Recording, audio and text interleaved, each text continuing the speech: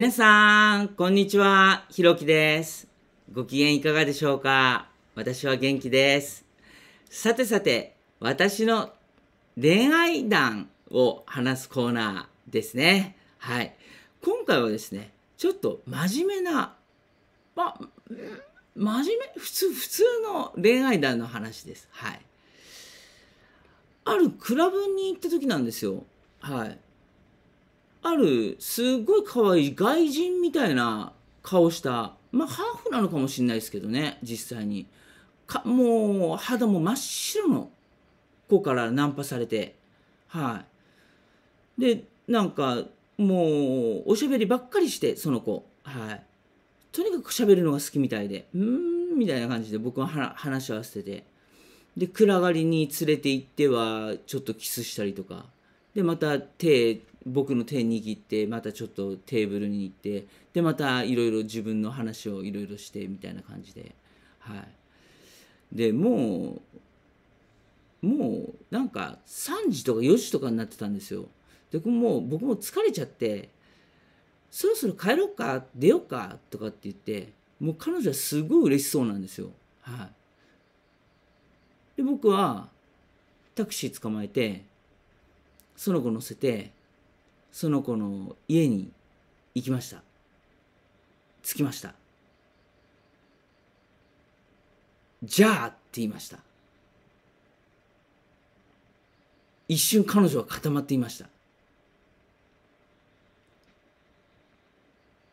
でプイって怒って家までまあちょっと距離があったんでなんか中庭みたいな、玄関まで行きましたね。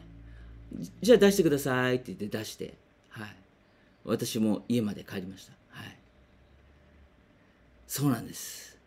僕自分のことばっかり喋って僕のことを知ろうともしない女の子とセックスする気なんて一切ないですからね。はい。そういうことなんです。はい。僕はセックス人形じゃないよっていうことですね。はい。僕にも断る時があるんですよ。男にも。男にも断る時があるんですよ。いくら相手が美人でも。はい。見た目が美人でも。性格ブスみたいなやつですね。はい。いわゆる今で言うね。今で言う性格ブスってやつですよ。あれが、あれが性格ブスってやつですよ。はい。まあ、もうだいぶ前の話ですけど、はい。僕が学生の頃の話でした。はい。はい。今日は以上でございます。どうですか？真面目でしょ？はい。僕も真面目なんですよ。一応。一応って言ってるけど。酔っ払ってたら分かんなかったですけどね。酔っ払ってたらどうなってたかな。僕酔ってなかったですからね。全然。はい。もう冷静に対処しました。はい。はい。女性の皆様、お気をつけください。